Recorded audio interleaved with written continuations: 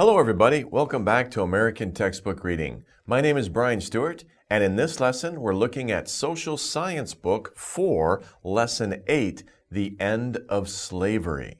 In this unit, or in this lesson, you will discover how American slavery was ended and who some African American heroes are. So let's get started. Our first word for this lesson is slavery. Slavery is the condition of being a slave. What is a slave? We'll see that that's a, a word coming up soon. Next, we have plantation.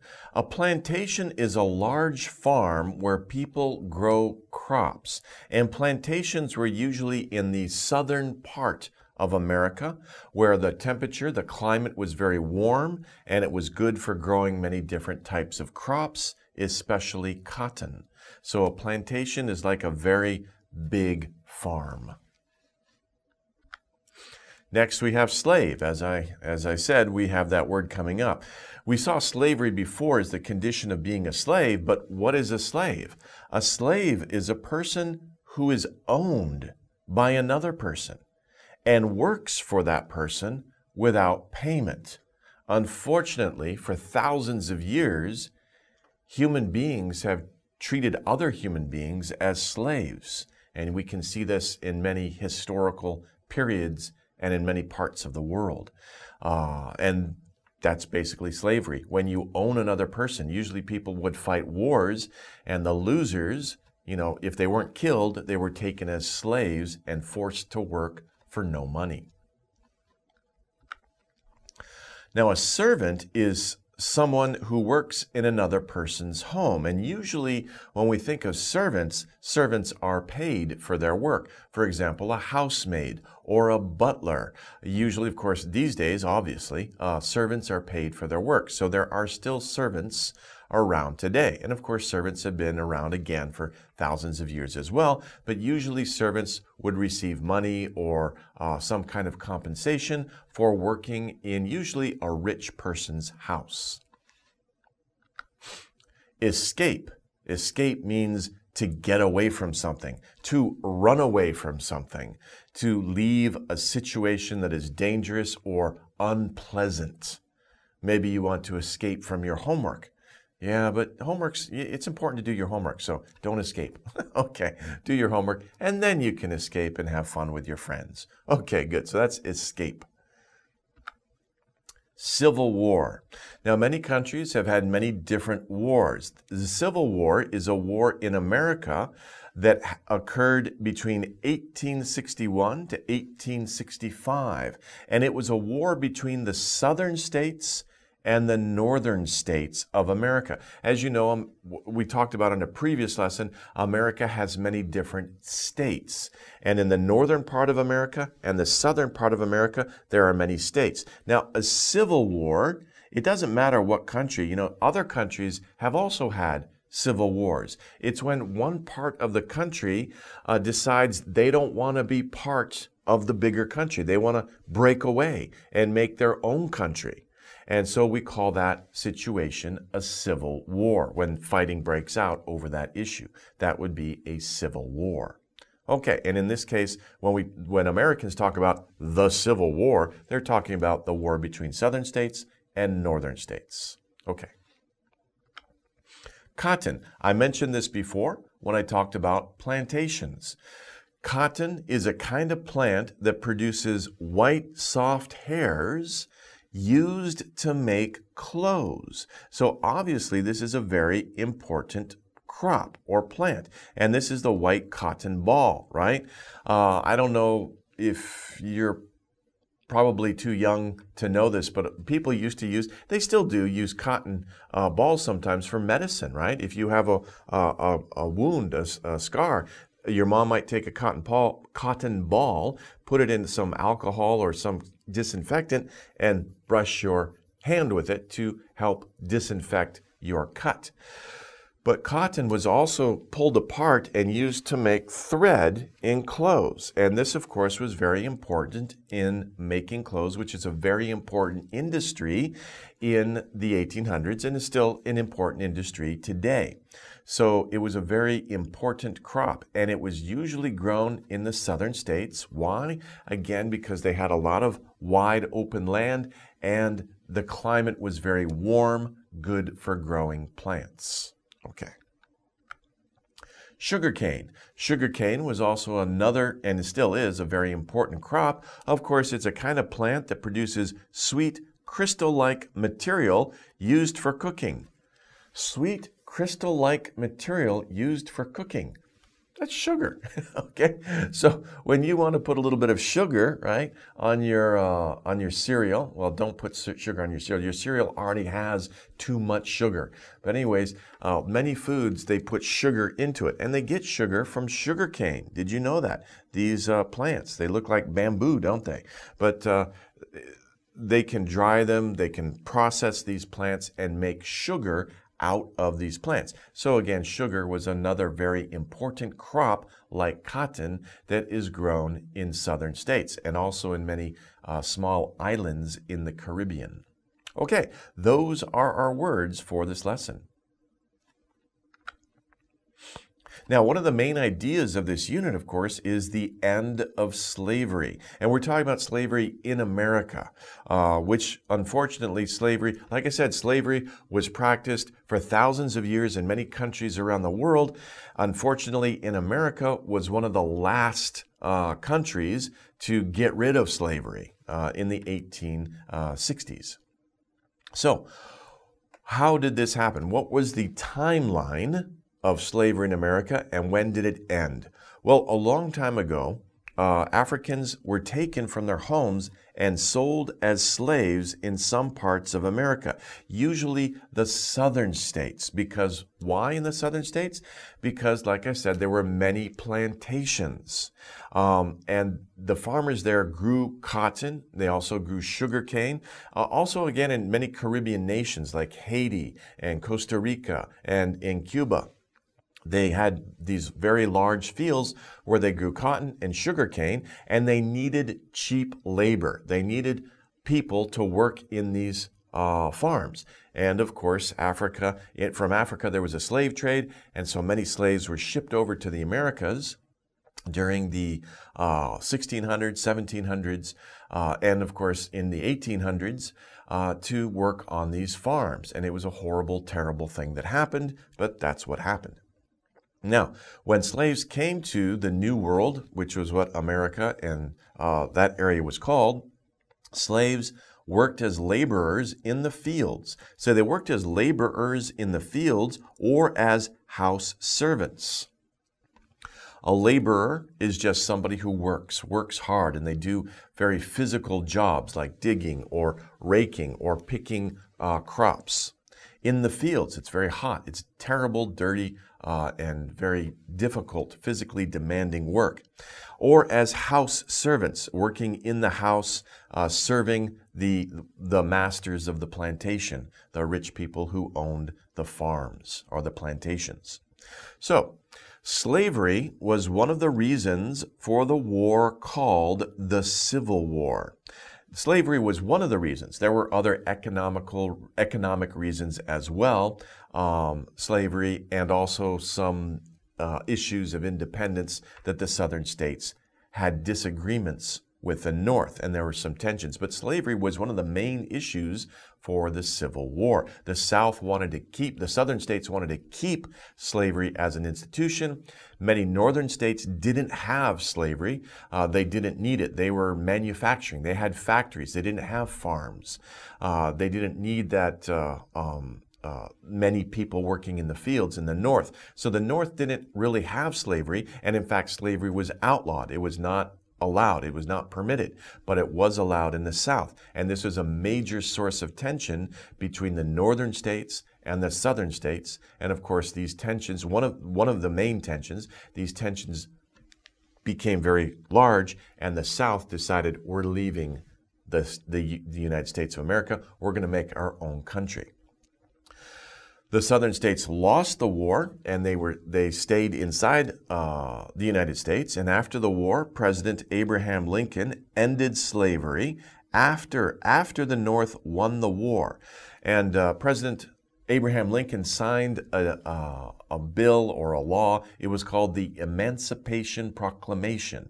Emancipation Proclamation, and it was basically a decree or a statement that nobody can own another person. Slavery was outlawed throughout America, and that was the Emancipation Proclamation. Okay, there are some African American heroes that we can talk about. Harriet Tubman is one of them. She was a slave, so she lived uh, back in the 1800s and she escaped to freedom. So she was in the South. She was a slave in the South. She escaped to the North where slaves were free. There were no slaves. And uh, there was, you know, slavery was not allowed. So she escaped to the North to her freedom. And she didn't just rest and uh, carry on her life uh, and enjoy, you know, being a, a free person. She felt a responsibility and obligation to help the other people like her that that she had left when she escaped to the north. So she was very brave. She didn't have to do this, but she volunteered to help hundreds of other slaves escape. She is remembered for her courage. And in fact, she's very famous for helping with the what, what's called the Underground Railroad. It wasn't actually underground. People sometimes say something is underground when it's hidden from sight or it's illegal. They don't see it. And so it's kind of hidden. The Underground Railroad. It wasn't a railroad that went under the ground. No, it, but it was hidden from sight so that the authorities, the law enforcement in the South, couldn't see them, couldn't find them. But it was a railroad because it helped many people go from south to the north, uh, slaves to escape to their freedom in the north. And she was very important for this movement. Now, even though slavery ended, hundred, a hundred years later, there were still problems in America, especially with race, and they still continue to this day, of course. There's another famous person, Jackie Robinson, who in the 1950s, he became the first African American player in Major League Baseball, Major League Baseball, the MLB. And he played for the Dodgers, as you can see on his uniform. So, although slavery was ended, there was no more slavery, in the 1950s, African Americans were not treated equally. They were, there was discrimination right? So uh, they were not treated as an equal person. Now, Jackie Robinson became very famous because he was the first African American player to be accepted by the Dodgers. You may know the Dodgers as a very famous American baseball team. And you think, oh, the LA Dodgers. Yes, they're in Los Angeles now, but they used to be in New York. Sometimes teams will change cities because people will buy the team and move it to another city. But in the 1950s, the Dodgers were in New York and uh, they hired or they recruited Jackie Robinson to play for the team. Now, there's a really good movie that I recommend to you. It's called 42. And it's a recent movie. And uh, it's, it tells a story about Jackie Robinson. It really shows the discrimination and the controversy of this story. It's a very good movie, so if you have time, check it out. Okay, so anyway, let's move on. Let's do the reading. Now, as usual, I will read out loud. You guys repeat after me or repeat in your minds. Let's focus on the words from the vocabulary. Not all people in the early United States were free. In some parts of America, people taken from Africa had to work in slavery. Workers on plantations worked long, hard days as slaves. Slaves had to pick cotton in the fields or raise crops like sugarcane. Other slaves worked in the homes of slave owners as servants. The life of a slave was hard, and many slaves tried to escape to freedom in the North. Unlike the southern states of America, the northern states did not support slavery. President Abraham Lincoln decided that slavery should end. The southern states challenged the president's decision. As a result, the northern and southern states fought the long and terrible Civil War over the issue of slavery. In the end, the North won, and the slaves were set free. Okay, let's take a look at how this reading passage was organized. And here we have sequence. Sequence is like an order of events. What happens first, what happens next, and then what happens in the end. And this eh, reading passage is kind of organized along the lines. Because we're talking about slavery. What was the beginning of slavery? What were the effects? And how did it end? And that's what these three boxes will tell us. So, first of all, we have people taken from Africa had to work in what word from the vocabulary can we use here? Had to work in what? Now, you don't say in plantations, you could say in plantations, but on plantations would be the preposition. They had to work on plantations. So you have to work on farms. But in this case, we're talking about a condition. What condition was from the vocabulary? The condition was slavery slavery. So we use in when we describe a condition in which someone has to work. They had to work in slavery. They had to work in bondage. They had to work uh, in some sort of condition. But if you're talking about where they worked, if you're talking about farms or ranches or plantations, we use on. They worked on farms. They worked on ranches. They worked on plantations. And that's what we have next. Slaves had to work on plantations. I just said it. Plantations.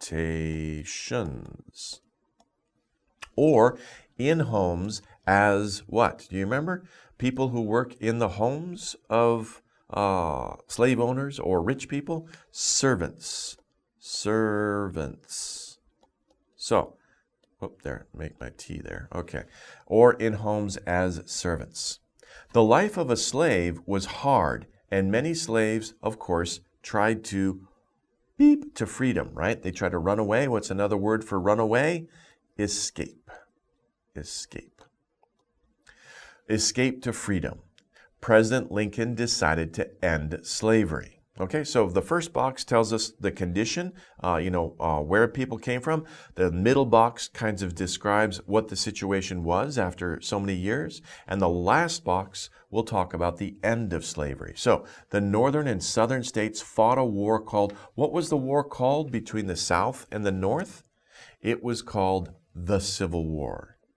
The Civil War. Now here I'd like to point out that you need to use the because it's a war. When we talk about wars, we and we say what kind of war it is, we say the war because unfortunately there are many wars in the world. So when we describe a particular or unique war, we name it and we have to use the because we're saying which war. It's a war. Which war? The Civil War. It's a revolution. Which revolution? the French Revolution. So when we talk about events like this, of course, there are many type, similar type events, and we name it, use the. Okay, so the Civil War, the French Revolution, the War of 1812. So we need to use the. Okay. The North won and slaves were set free. Abraham Lincoln issued the Emancipation Proclamation. Okay, so uh, in this lesson, we took a look at the end of slavery. It was a terrible period for American history. It's a shameful uh, period for American history. Should have never happened, but it did, and that's history. And there's a lot of things that uh, that we can see in history where we hope and we, we have to work so that they never happen again. We should not forget them. Okay, so anyway, I hope that you learned a lot in the vocabulary for this lesson, and it was kind of an interesting look into the past, into the history. Okay, thanks for studying with me as always, and we'll see you again in the next lesson. Take care, everybody. Bye bye.